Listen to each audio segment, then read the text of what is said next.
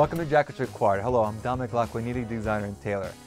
This week's episode of Jackets Required wraps up a three-part series on alterations.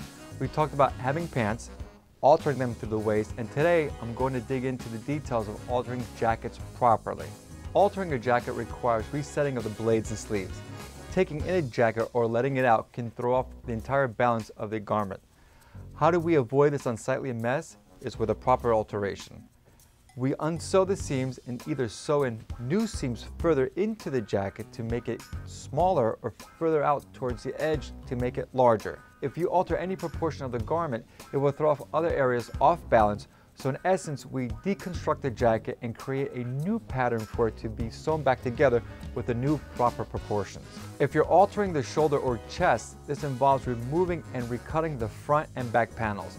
This also requires moving the lining and recutting and resewing that as well. It takes many hours of a skilled hand-sewn work to accomplish flawlessly. If you're letting out a jacket and it's an off-the-rack type of garment, then you may run into the challenge of not having enough fabric to let out. Most off-the-rack suits are made with little extra. Being precise in what fabric you use cuts costs for them, and they are not concerned about custom fitting to every body type within the size range. Here's where one large benefit bespoke jackets come into play, as your tailor will make your custom suit with extra fabric in order to accommodate the long lifespan of the garment and the natural changes you may experience in your own body over the years. A great jacket is always worth keeping and a touch of alteration here and there is a great way to keep it looking its best on you no matter what. If you're going to invest in your clothing, make sure it's an investment that will last through time.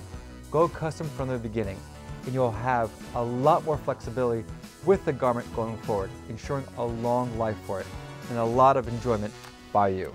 Hopefully I've shed some light on the behind the scenes of what it takes to make a solid quality alteration to your jacket and the amount of skilled craftsmanship that it actually really requires.